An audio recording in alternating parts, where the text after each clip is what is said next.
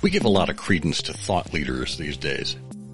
The gurus, the executives, the authors, who all seem to have something profound to say about a number of topics.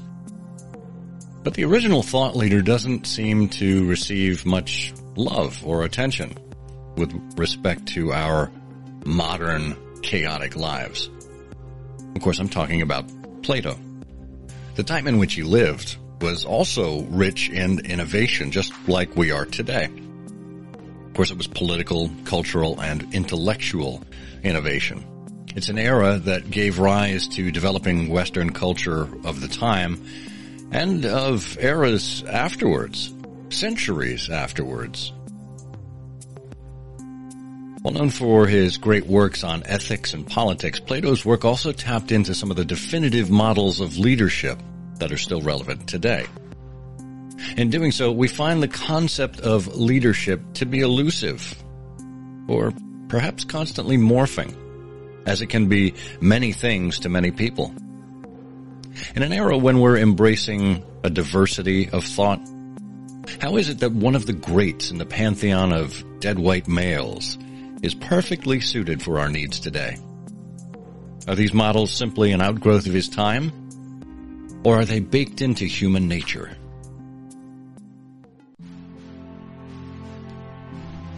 Have you ever admired a leader and wondered just what it is that makes her who she is? How he came to embrace the things that advanced him? Welcome to Timeless Leadership, where we look at the principles that define success. This is a show for leaders at all stages of their careers who aspire to understand what it truly means to be a leader. And who is a leader? Dolly Parton said, If your actions inspire others to dream more, learn more, do more, and become more, you are a leader. Together, we'll explore key principles, not only in the sense of fundamentals, but also in the ethical sense. The habits, character traits, and virtues that form the backbone of leadership. Principles that are just as relevant and essential in the 21st century as they were in the first century. This is Timeless Leadership. Hello and welcome once again to Timeless Leadership, where we explore principles and virtues that accompany admirable and successful leaders. Thank you for considering this show worthy of your time. It's my hope that we can provide you with the type of quality conversation that keeps you coming back. We do these shows live each week here on Twitter Spaces, and then we package them up for listening later. So if you're tuning in now and can't stick around for the whole thing, or if you tune in late, uh, you can catch the whole thing as a podcast wherever it is that you listen to podcasts. And of course, I'd encourage you to subscribe to my timeless and timely newsletter where I regularly write about leadership, communication, and history at timelesstimely.com. This week we're talking about models of leadership in Plato and beyond.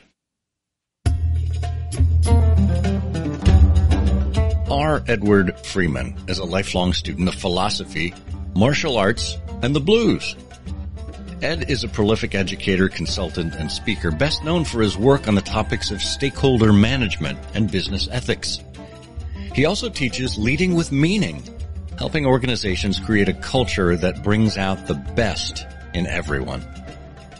Professor Freeman is perhaps best known for his award-winning book, Strategic Management, a Stakeholder Approach, first published in 1984 and reissued in 2010.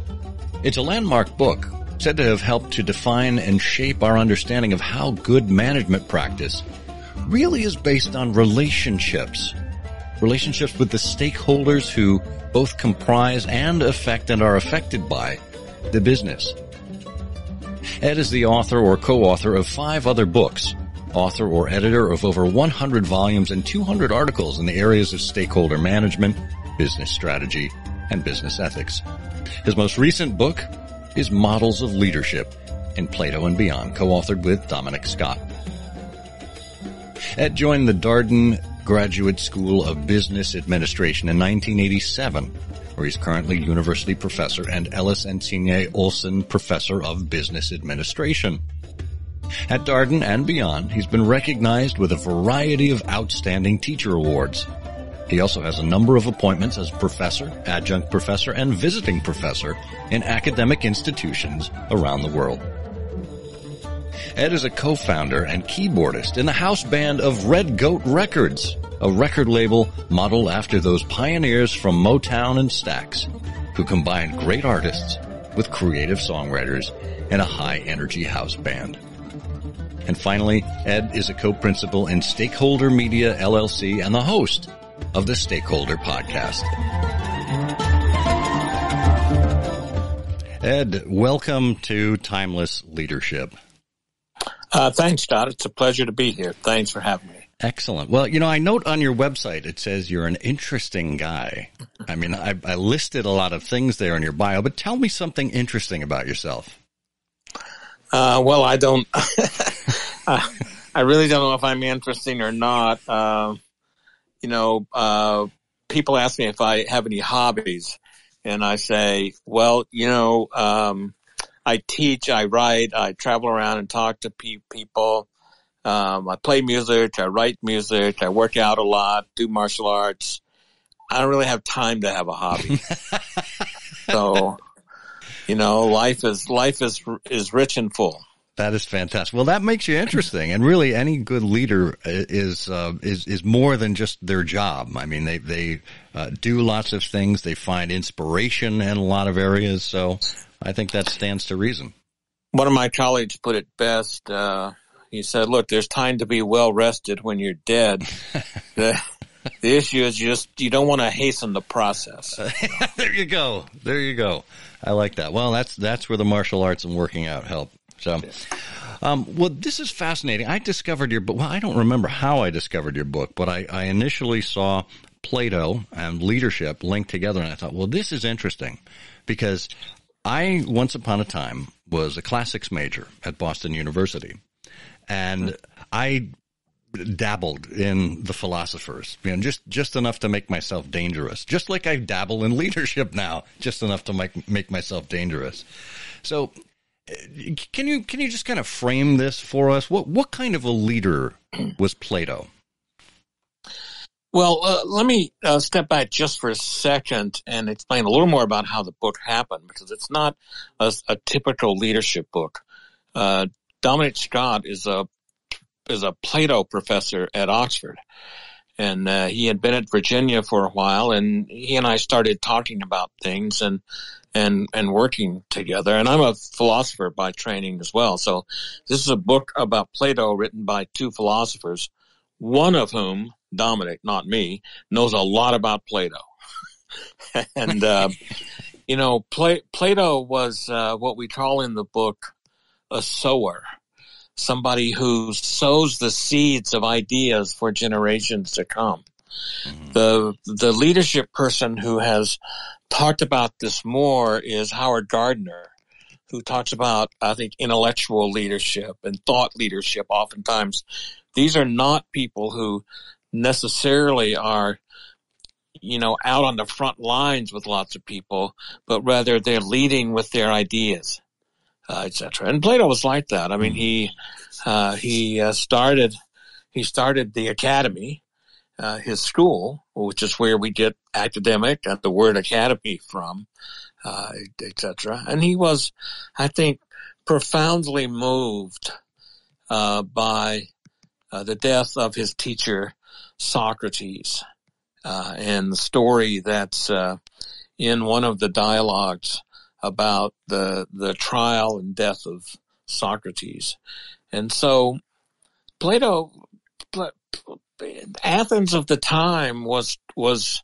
tricky. There was a uh, there was a lot of controversy about how democracy was going to work, and um, Plato had experience uh, with lots of different kinds of leaders, uh, and I think this in part uh, affected the way he saw it. He didn't have one model of leadership. And uh, I think many of the people who write about leadership today want to find that kind of one model and force everything to fit in that. Plato had a much different idea and, and really a more sophisticated idea.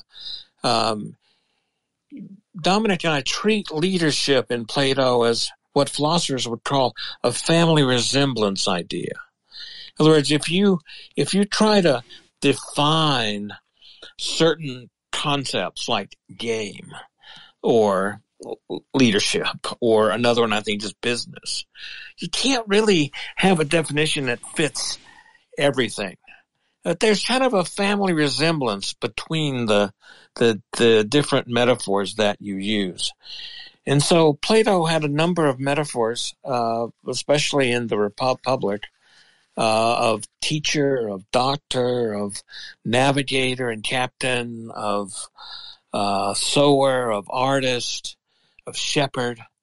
And he thought there were insights in all of these things, all of these roles that uh, leaders could learn from. Mm.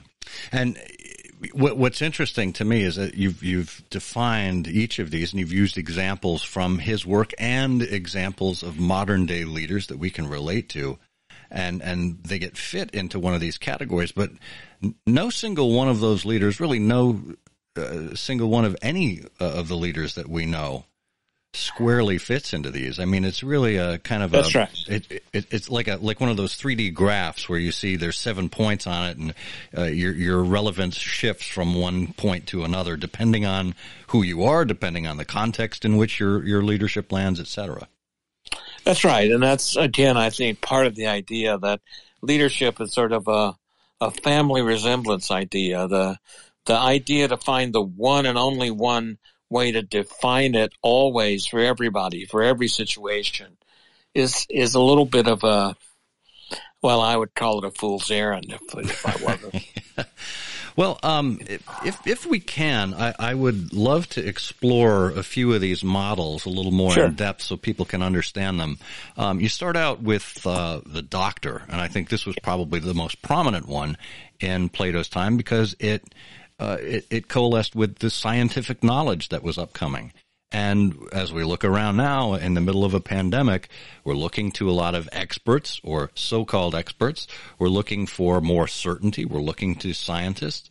And talk a little bit about the role of the doctor and what it is that that kind of a leadership, uh, leader brings to the table. Well, the doctor knows things about what's in your interest that you may not know. Uh, the doctor may know what's good for you uh, even though you don't. Uh, and so um, the difficulty here for the doctor is to persuade you in a way to accept the cure. And we certainly see that today, where uh, I think the the doctor or, or in some case the scientist, we might uh, up, update that to, the scientist knows um, how COVID works in much more detail than than any of us know. Uh, and yet, the part of the scientist's job as leader is to convince us to uh, that that what the scientist, what she knows, is something that's that's good for us. Um, you know, um, so it's not just the technical expertise; it's the it's the difficulty in getting people to accept that. And Plato was very uh, hesitant to think that rhetoric was was was always helpful. You know, so the doctor works for the benefit of the followers. They they don't pursue their own self interest. That that's the idea about being uh, a doctor and do no harm, and that's that comes through uh, to the modern uh, time but I can know what your interest is uh, and still not be able to convince you of that. So it's a it's a it's it's a it's a difficult thing that I think we find relevant today. Yeah, I mean.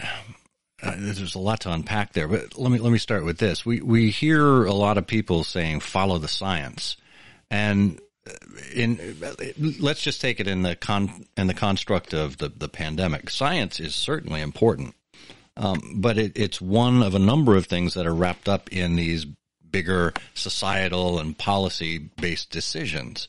That a leader's job isn't necessarily to be a scientist, but it's to listen to scientists as well as other advisors who are on their uh, on their team.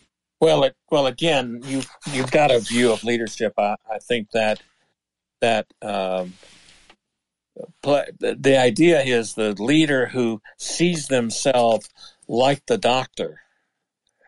Uh, their job is to try and uh, get people to to um, to take the cure, uh, if you like. Uh, so uh, this this idea of the leader as this generalist who, you know, looks at doctors and navigators and teachers and shepherds and sowers and artists, uh, and looks at all those perspectives. I, I'm not. I'm not sure. Well, that's certainly not Plato's view. he was. He was just kind of tackling one at a time, then. Well, yeah, because the idea is different situations yeah. require different uh, different roles, and again, you have to remember these are these are metaphors, right? Uh, they're they're models. There's not one model for everything. Um, I, I sort of like the idea that you know you can take some principles from each of these models, and mm-hmm. we, we try in the book to to say, well, here are the three or four prin- principles for each one. Um, and, you know, those are pretty good prin- principles, but the trick is in the, is in judgment, is in figuring out when, when, when, when they apply and, and when they don't. Right. And, and I would take it that that is something that a more experienced leader would be able to uh, kind of uh, shape shift between some of those uh, th- well, those models. You hope so, but sometimes more experienced leaders are so set in their ways, uh, can't do that. So I, I think that's a, a, a fairly dangerous assumption that experience will lead you to uh, be uh, more more open and curious. Well, what? go ahead. No, that's all. Oh, I, I, was just going to ask you, what about the flip side of that, the the inexperience? Because usually when people are tapped for their first management position, their first position in which they need to oversee people rather than projects, they're usually selected by virtue of having been a, a an excellent individual contributor. Yeah, right. They were an expert in some area, and and this is where we hear about you know Plato's uh, faith in expertise. Um, how does how does that kind of expertise then play into leadership for an inexperienced leader? Well, I, I, think you're right. I mean, we've ruined many good individual contributors by turning them into managers. Uh, and of course, expertise, there's the expertise in the subject matter, but then there's a, a different kind of expertise that's required in terms of understanding people. Uh, and I think this is something which, again, Plato writes about it a little bit, and and this is in part why the um, I've always found this pretty amusing. The the the highest leaders in his republic were philosopher kings. Now, I, I know a lot of philosophers, and I don't I don't think I don't know where that came from, but it, it didn't come from the people at the American Philosophical Association. I'm pretty uh, about that. Maybe it goes back to the old precept of know thyself. Well, you know, what? there is one there is one important difference that I think uh, we can learn from from Plato here. Um, many people talk about uh, leading with integrity. They talk about responsible leadership. They talk about ethical leadership. I've written some stuff about this before I I uh, I worked on this this book. Plato didn't have an idea about about that. Plato Plato's because he thought leadership was something that was a good thing for the most part. And he contrasts leaders with tyrants. Uh, I mean, hmm. if you if you ask people, I've done this for probably several thousand people. Um, the, first two names that come to mind when you think about leadership. A non-zero number of them will give you um, names like Hitler and some other pretty bad people. And the idea is, well, you know, they weren't good people, but they sure could get things done. that wasn't enough. Being a leader was not just about getting thing, things done. It was about getting the right things done the right way. It was about knowing the right and doing right. Uh, and so I think Plato was willing to call tyrants tyrants uh, and not give them, because leadership's a little bit of an honorific. If I say you're a leader, I'm kind of saying you, I'm starting with the idea that you're okay and you're doing something that's noble. And Plato didn't think that was right. He thought they were they were tyrants, and certainly in today's world, I'd like to see us go back to calling out tyrants. Yeah, that, that's a great point. And yeah, even in a, a, more innocuous way, you know, it's the difference as people have uh, outlined before, the difference between a boss and a leader. Um, you know, if you, if you want to stick to the workplace, uh, kind of thing. So, and I just want to be clear. I don't make any of my colleagues in philosophy angry. I'm actually not a professor of philosophy. Uh, I'm just a philosopher who's who hangs out at the business school. there, there you go. Well, you know, I think it's fascinating. I just want to talk about your your career for a little bit of this intersection of business and philosophy. Um, oftentimes, yeah. those of us in the humanities, if that's where we've gotten our degrees, um, are, are often viewed as either you go into academics or it's some dead end job, or you end up doing something that is completely unrelated to your field of yeah. study. I'm interested to see where you found the intersection of business and philosophy, how you brought those together, particularly around leadership. Well, uh, for starters, it was luck. Uh, when I was finishing my PhD in philosophy at Washington University in St. Louis, uh, one of the people on my committee said, you know, you should do a postdoc. And one of the places he mentioned was Wharton. And of course, I was in my early 20s. I, I'd never heard of Wharton. And um, I, I, he said, it's a business school. And I said, well, is it a good one? He said, well, it's, you know, one of the best. And then I said, where is it? Because I, I, literally didn't know. and uh, uh, he said, "Well, it's in Philadelphia," and uh, I said, "Well, I might be interested because my girlfriend was going to grad school at Penn, and so I show up at Wharton for love or lust or whatever it was. It was seventies. Uh, we've been married for forty five years, so that worked out."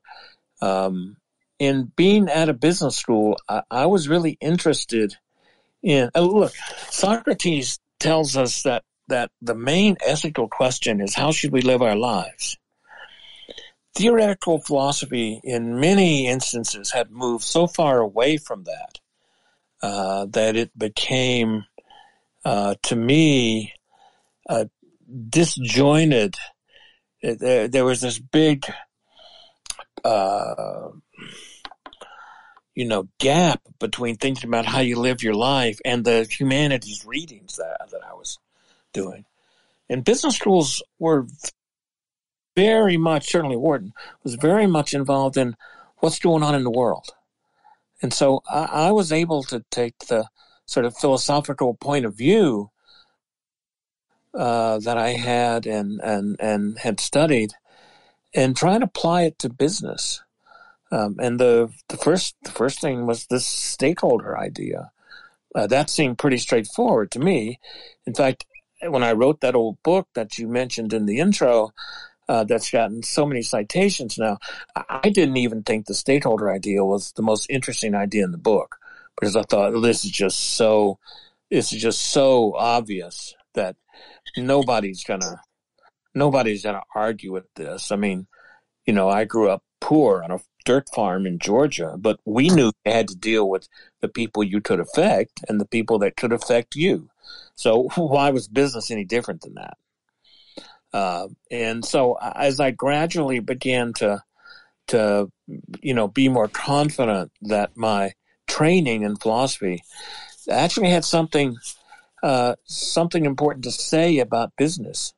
Uh, you know, and if I could say it in a way uh, that wasn't too technical, that, that didn't, uh, you know, that, that didn't call for people to do completeness proofs in, in first order predicate logic, which, you know, I could do, but, you know, I've never had really this for it.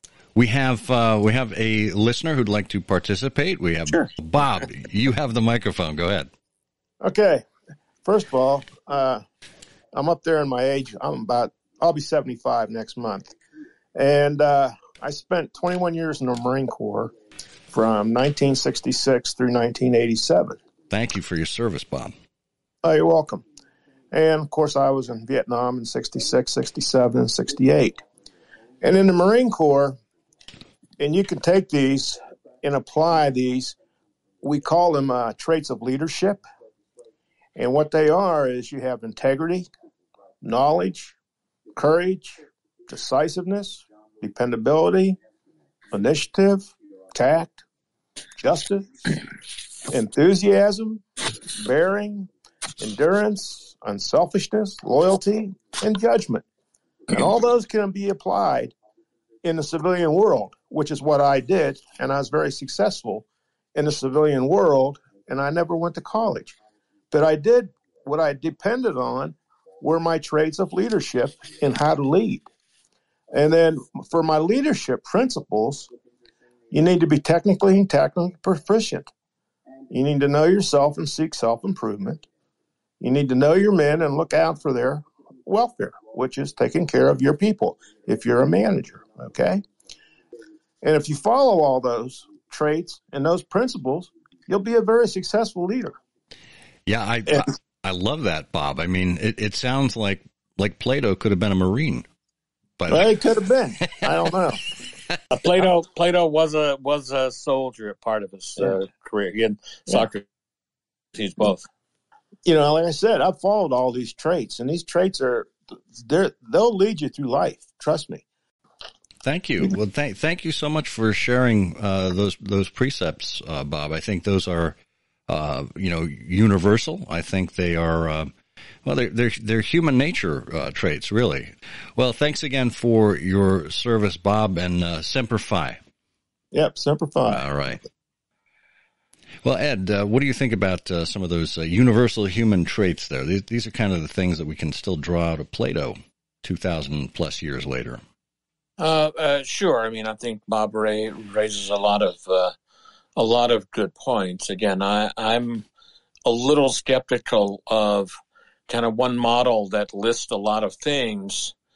Um, I mean, those things conflict some sometimes, and you have to have judgment to figure out which ones are important in which situation. So, of course, I think there are other things that can that can help you do do that yeah. thinking about the metaphor, for instance, of of a doctor might might not be very helpful for a marine in combat, but it might be very helpful to uh, a manager who's trying to figure out uh, how to how to treat uh, employees fairly in a situation like COVID.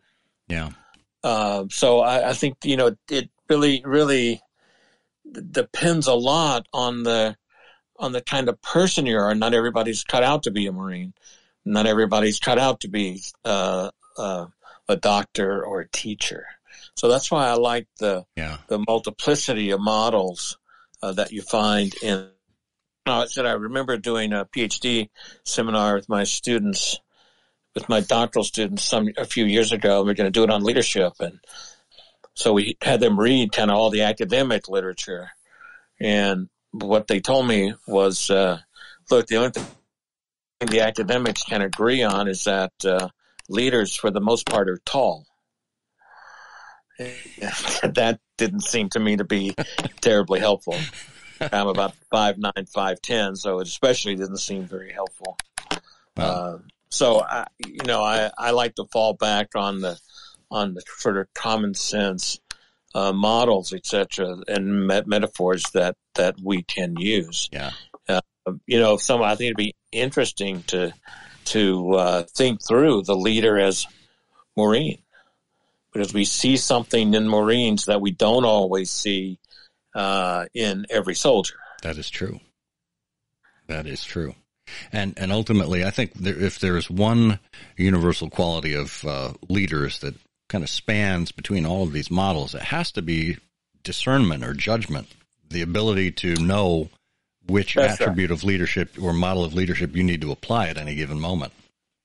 Uh, and to know if you can or not. Right. Uh, and I look, I, I have to uh, uh, confess, John, I'm I'm a little bit of a leadership skeptic. There's a there's a, a brilliant, brilliant management thinker, Jim Collins, who uh, it's really uh, his idea. Um, and he said, you know, in the Middle Ages, um, why, why did my crops fail? God did it. Uh, why did my child get sick? God did it. Why did it rain yesterday? God did it. and then as we as we learn more about the way the world works, you still believe in God. That's that's not the issue, but but we would give better explanations uh, for for that. In management theory, it's a little bit, you know, why did this company succeed? Leadership. well, why did this company fail? Leadership. Uh, why did this project not work out? Leadership. Mm. And and Jim became a, a, a, sort of the original leadership skeptic here. Um, and I, you know, I, I, there's there is a a way in business schools and businesses to attribute much more causality, I think, to leadership than is there. It is important, but it's important to be nuanced about it. Right. And to try to think about uh, what what you really know about uh, what causes things to happen. And so I, I'm I'm a, I'm a little bit of a skeptic to attribute so much to leadership, as important as I think it is. Yeah, yeah. Um, well, I think that's important. I mean, as, as, you say, there are many factors that go into um, a, a success or failure of any given element. So, uh, but I do have to say, Ed, that you are the first leadership skeptic we've had on timeless leadership. So congratulations. well, it's uh, it's uh, it's an idea just stolen from Jim Collins. So. well, I, I, I think it applies here. So well, you know, it was interesting. He he when he was writing Good to Great, I think it was, and his researchers, as he tells the story, had to have kind of an intervention. They they had to sit him down and go, now wait leadership is important. What we've found is in these companies that go from being pretty good to really great, what we've found is that, first of all, what's important is the leaders are um, have a high degree of humility mm. and a kind of uh, fierce determination. And it's that fierce determination around purpose and humility that that characterize leadership. It's not the loud, you know, uh, get things done, um, charismatic leader. It's it's the leader who's humble, who understands people, yeah. who um, you know has a kind of fierce determination around purpose, uh, and that was, you know, if if you if you were to say write down the top characteristics of most Fortune 100 CEOs, probably humility doesn't come to about number 73. well, it's interesting you should say that because one of the people we interviewed in the first season of this show was Marilyn Gist, who wrote The Extraordinary yeah. Power of Leader Humility. And yeah her uh, one of the major contributors to the book was my old boss, Alan Mulally at Ford Motor yeah, Company. Sure. And it, when when you turned to Alan and you congratulated him on some major accomplishment of the company, yeah. his immediate response wasn't certainly wasn't to take credit for it. It wasn't even to say thank you. He would say right. it's an honor to serve. And yeah. it, it was that that combination of humility and servant leadership tied together that made him so inspirational and made people want to follow what it was he was putting out there. Uh, yes, I think that's absolutely right, and and I also think one of the things that's happened is, is people have gotten the message. Right. Look, uh, as as one of my uh, CEO friends says, only assets I manage go up and down the elevator, And so you you have to think about what you're and what we try to get students to understand is you need to think about what uh, how you think about what makes people tick. Right. You know, if you think people are one dimensional, short term, self interested, only think about themselves, economic beings, essentially sociopaths. But if that's what you think, which is what a lot of our management theory says, you're probably not going to be very successful. Mm. Uh, if you think people are complicated, and and it's really not kind of one size fits all, uh, then I think you have a chance. And I, I think people are complicated. Yes, we yeah. can be self interested, but we can also anyone who's ever been in love or who's ever had a child knows we're incapable. We're capable of great acts acts of kindness, mm-hmm. great acts of uh, love and affection and acting for others as well. Um, and so seeing that sort of, and this is where I would go back to say the, the richness of the humanities uh, comes in because it's in the humanities where we learn about the, the richness of human life, the things that we can uh, do and that we're capable of we we look at the poets, we look at the novelists, uh, we look at the playwrights, um, and we look at the theories about those things. We look at art. The, these are the places where we get the richness and diversity uh, of of human beings. Ed, you're, um, you're speaking my language. This is exactly where I draw my inspiration from my newsletter every week. History, literature, the arts, philosophy. Yeah. It's it's all out there. It's all been done before. We're we're just on a, a constant repeat cycle with new context every time around. And we need them in business schools. Yes. Yes, we do. We need not just economics and finance. That stuff's important. I'm not arguing it's not. Uh, I'm very lucky to be at a place where I've taught uh, a course called Ethics Through Literature. I've taught a course called Leadership Through Theater, uh, and a, a, course called Working Together uh, Through Music. Um, and, you know, um, the humanities here are sort of alive and well uh, and a part of a business school education here at the Darden School. And I, I've got the best job in the world because of that. Fantastic. I love that. Well, we have a couple of people who are interested in joining the conversation. Uh, first, we have uh, Ali and John. You're next up in the queue. Ali, welcome to Timeless Leadership with Ed Freeman. First of all, I'm a big fan of um, uh, Professor Friedman's uh, Professor um, Freeman's work. Um, extensively cited in my PhD. Um, so I'm, I'm very happy to have the opportunity to speak to speak to him and, and thank him for all his work. Uh, one of the things that um, really strikes me, and I'm, I'm, kind of I teach leadership at the moment at, at, various business schools, but I'm at York at the moment, uh, York in the UK. And one of the things that strikes me at the moment is there's a conversation happening about whether we should move leadership on from Western uh, based um, capitalist based models onto something else that we can find from other civilizations and other histories that are there from. And from my background, I come from a background from South Asia and um, obviously have Persian and Arabic roots to that as well. And we're always looking for other ways of opening up and uh, opening up the discussion on leadership that includes those um, philosophies, those backgrounds, those uh, civilizations, those histories, those cultures. And it seems there's a tension here, both on in terms of how we think about leadership, um, as being a very kind of Western, very male, very capitalistic um, construct at the moment, um, it's very much based on CEOs and big leaders, etc., etc. And I'm not saying that doesn't exist in, in, in say Persian literature, where you have the Shahnameh, um, in Chinese literature, where you have the the, the romance, um, the romances of um, and and the work by some of the Confucian scholars.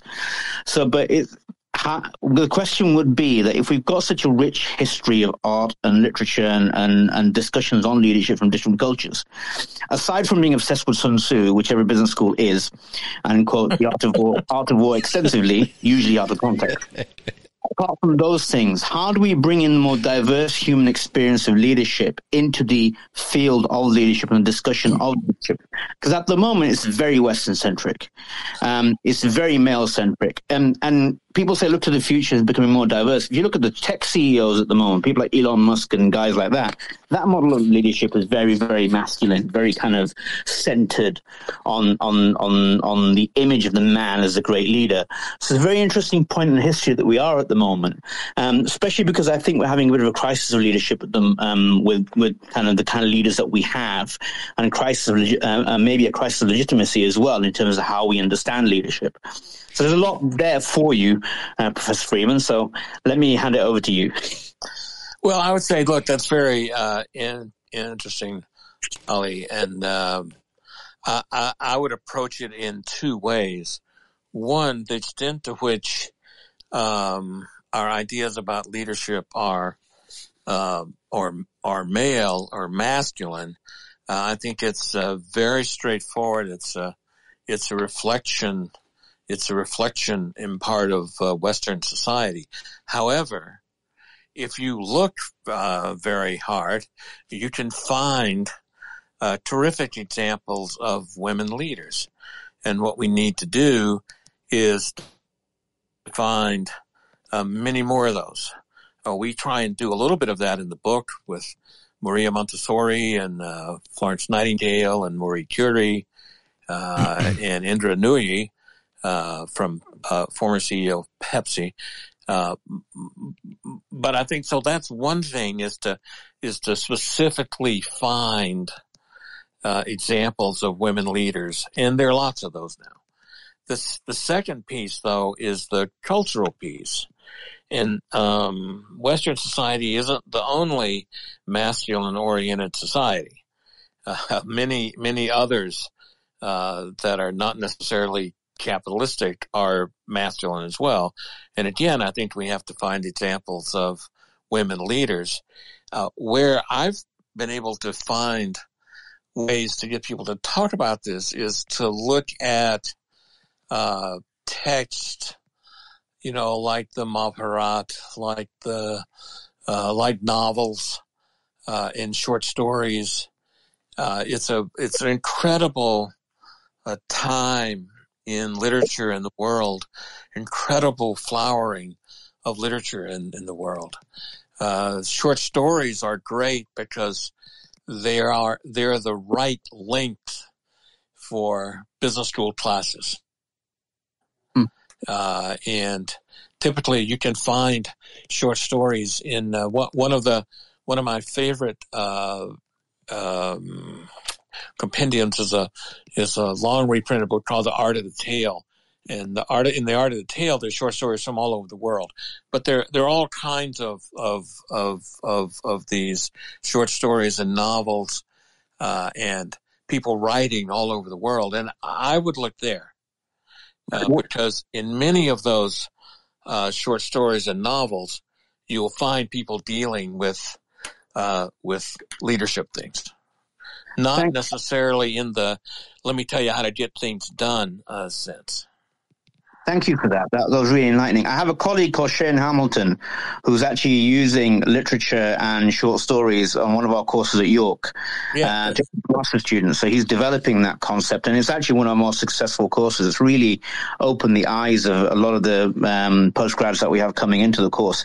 What, what, I was really interested in was really the kind of civilizational aspect of it. I think yeah where we open up the not necessarily the masculine and feminine side, but also where we open up the different perspectives. I spent quite a lot of time in in South Africa when I was working, and the the experience of leadership amongst the South African community, especially amongst people who had um, who had experienced Madiba and experienced the ANC revolutionaries and the comrades from Robben Island with a very different idea of leadership that that actually did kind of chime with what I read with you with um, with the stakeholder theory, in that it was about partaking and sharing and, and, and sharing a truth, sharing a sharing a, legit, a, legitimacy of the truth, of knowing that the truth and that that you have is something that empowers you to be a leader, and knowing that truth is legitimate. So everyone agrees that truth is essential, and then using that truth itself to be able to orientate your roles around the idea of leadership.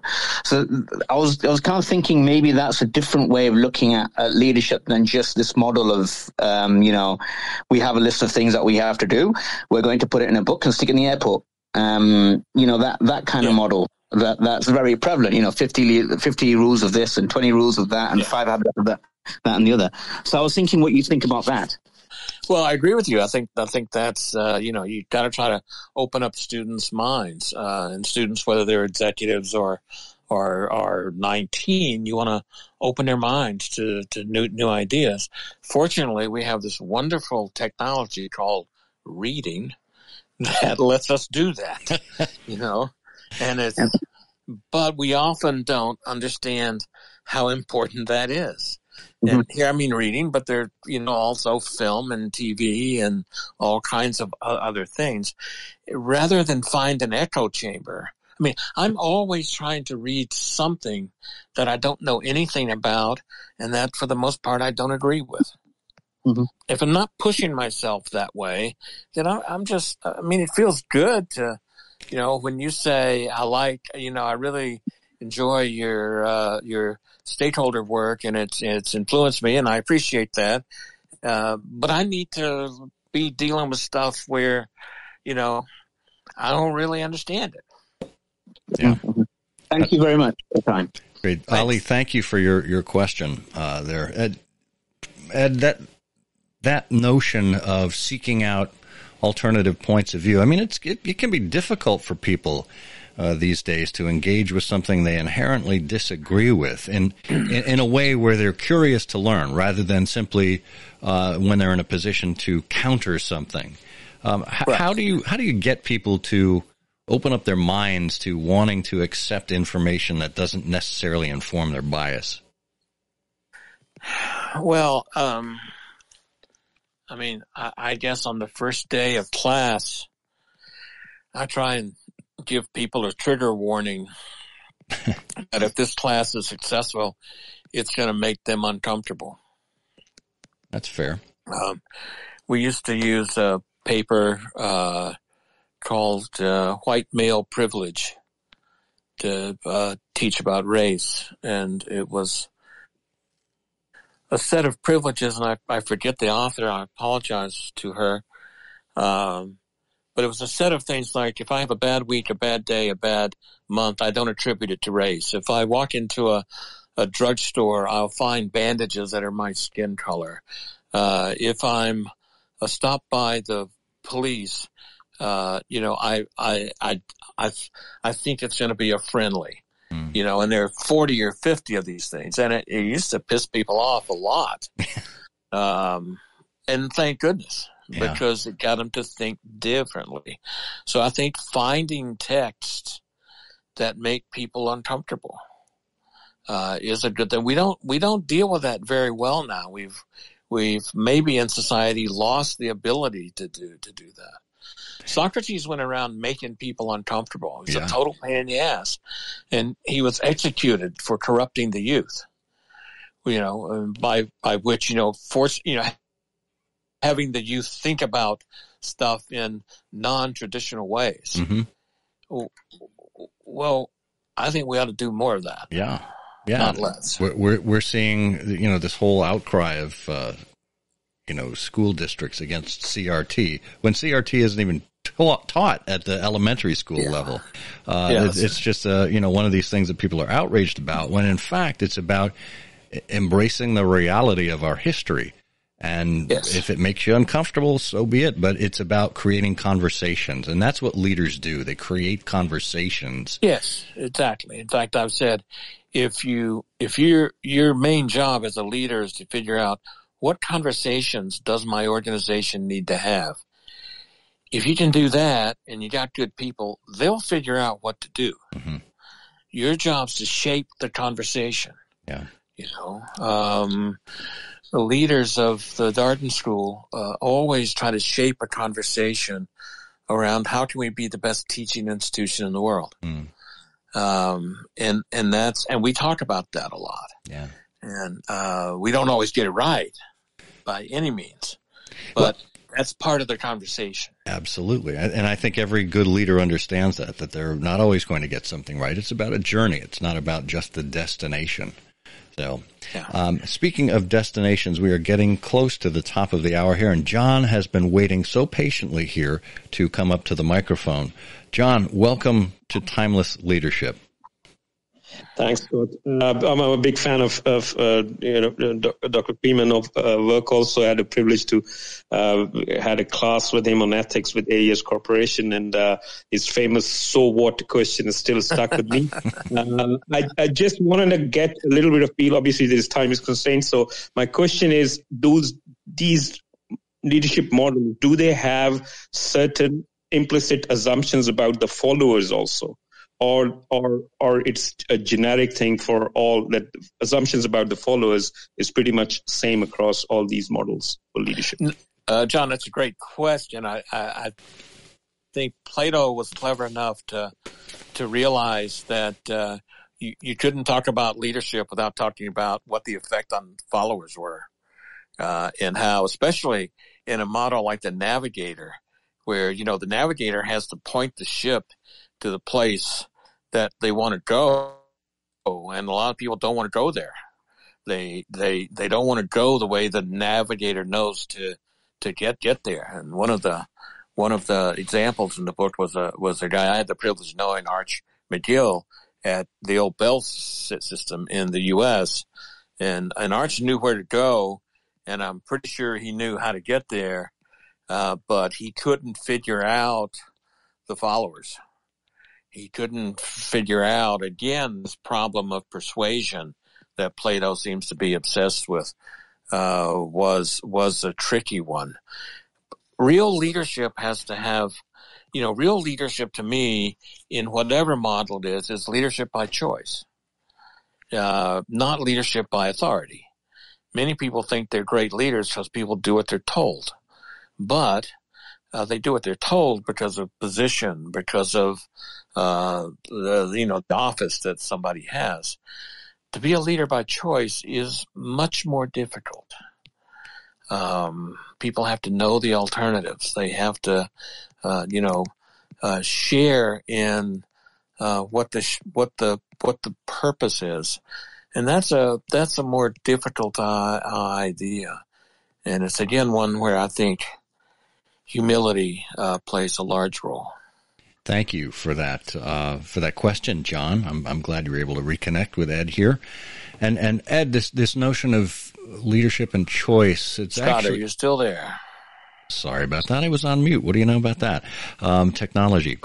I chose to be on mute. Yep. Um, no, I, it's, uh, thank you, John, for that question. I'm glad you were able to reconnect with, uh, Professor Freeman here. Um, and th- you know that idea of leadership and choice, Ed, is really interesting because it, it's almost a preview to another episode we're going to do uh, here with uh, Jim Rafferty, who wrote a book called Leader by Accident, and it's about being put in a situation where leadership is kind of presented to you, or not quite forced on you, but you, you're asked to step up and it's a choice you have to make at that point. Yeah. And and and you need to decide whether you're ready for it, and your organization needs to decide whether you're ready for it too. So. Well, this has been a fascinating discussion. The book is Models of Leadership in Plato Beyond by Dominic Scott and R. Edward Freeman.